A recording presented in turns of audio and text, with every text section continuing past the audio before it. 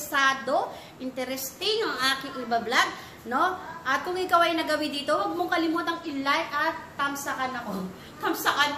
I mean, huwag mong kalimutang mag-subscribe. At try to watch my other vlog. Yo, i-flex ko muna ang aking channel bago tayo mag-start sa aking vlog. So, ayan, shout out to all of you. Maraming maraming salamat sa patuloy na sumusuporta at dumadagdag lalo ang aking subscriber. Subscriber na appreciate ko yan, guys. Ayan, umpisa na tayo. Ito na naman, panibagong yugto, panibagong topic ng mga kahulugan ng mga panaginip.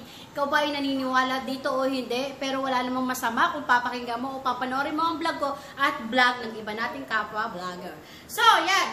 Umpisa sa aking, umpisa. Una sa aking list ay kapag ikaw daw ay nanaginip ng pera. So, ito daw ang kahulugan yan. Kapag ikaw daw ay nanaginip ng pera, yan mahirap daw makahanap ng pera.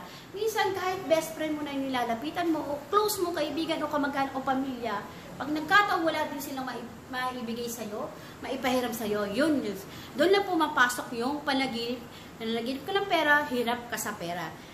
Pangalawa sa akin listahan ay yung ipin. So, sabi ng karamihan, kahit noon pa sa lolo't lola ko, sa magulang ko, kapag ikaw daw ay nanaginip ng ipin, yun, meron daw talagang may mawawala isa sa pamilya mo o malapit sa'yo, no? Yan ah, pag magalit tayo, hindi ako nananakot, ako ay nagbablog lang.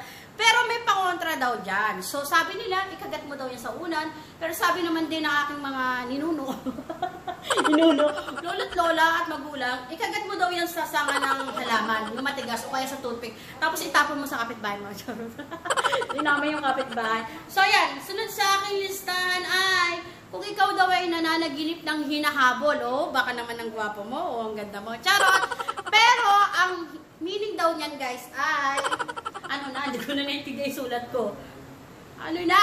Yan! Ang meaning daw nito ay, meron daw humihila sa'yo pababa. Yun. Ibig sabihin, parang may nainggit sa'yo. Ayaw niya na umangat ka o makita kang umangat, no? Sino kaya yun? Yan. Next sa aking listahan ay kung ikaw ay naginip na nasa ilalim ka ng ilog o dagat, ang ibig sabihin daw yan, base sa aking research, ay madami kang pagkakautang na dapat mong bayaran, kaya wag mo takasan, di ba? So yan, yan daw ibig sabihin yan guys, hindi ako nagpapatawa. Totoo to, nakasulat dito, okay? Yan. Yan. Buti na lang, hindi ako nananaginip doon. Ibig sabihin, wala akong utang. Next, last sa aking listahan, kung ikaw ay nananaginip ng, ay, dalawa pa to guys, dalawa pa. Uh, second to the last.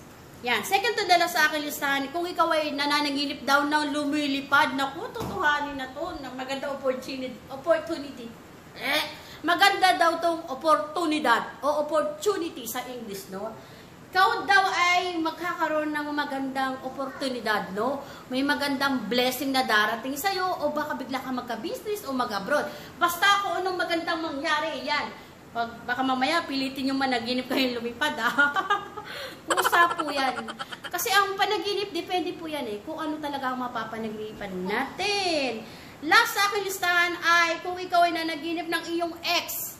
Sino ba si X-Men? Ex-GF, ex-BF, ex-husband, ex-wife. Kung napapanaginipan mo silang madalas, ang ibig sabihin na ay hindi pa din daw sila nakaka-move on, ikaw ay mahal pa rin nila. So, yan. Diyan po natatapos ang aking vlog. Salamat sa panonood. At kung naibigan mo ang aking vlog, huwag mo kalimutang i-like. Baka naman, like lang, masaya na ako. Bye-bye guys!